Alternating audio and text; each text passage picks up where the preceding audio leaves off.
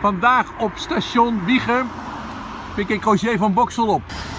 De NS heeft voor 3 miljard elektrische spullen gekocht. En vandaag waren de eerste sprinters met, eh, die werden geleverd. De eerste 20. Op de. Roger even op de close all doors, net als een conducteur. Close all. Heel goed. Nou, hij doet het heel rustig, Roger. Oh. Heel rustig, weg van Wiegen. Daar heb ik jarenlang gewoond. Trap hem zin, dus uh, trap hem zin. Ja, kijk, dat accelereert Nee. zo enorm. Nu 1, 2, 3, zo hard mogelijk. Hard mogelijk, ja, ja, ja, ja, ja, ja, ja, ja, ja, ja. Oh, G-kracht.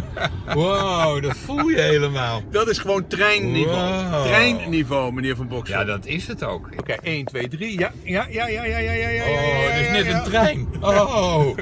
Is dat nou zoals die nieuwe Sprinter? Ja, de sprinter die, gaat, die trekt ook zo heel snel op.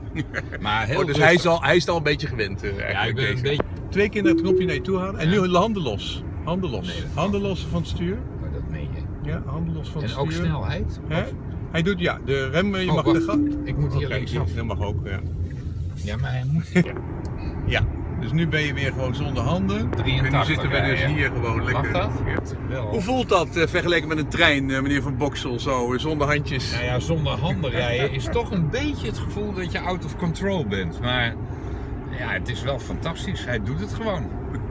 Net als de trein, die doet het ook gewoon. De trein doet Dus- het gewoon. Ja, die doet het gewoon. Ja, de combinatie, daar gaat het om. Hè. We moeten eh, slim kunnen wisselen. Trein, eh, fiets, auto, deelauto.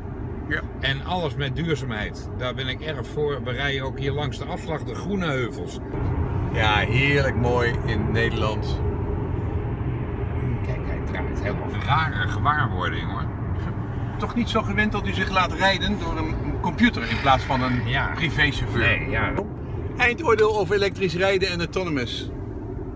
Ik vind het eh, heel comfortabel. Ik moet nog een beetje wennen aan het helemaal overgeven. Eh, weet je, ik zit gewoon bijna stand-by om in te grijpen. Ja, heel verstandig. Is Zometeen nog meer over Roger en zijn elektrische liefde.